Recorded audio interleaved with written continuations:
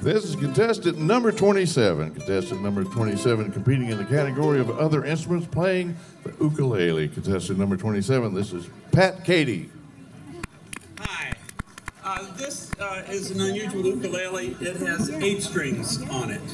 It's tuned so you have an octave at the C and the G and then double the E and the A. And the nice thing is that you never have to look for anybody to play with because it's like you always got somebody right there to back you up on it. So, I'm going to try to do a little uh, song Willie Nelson wrote, Patsy Cline made famous, Crazy.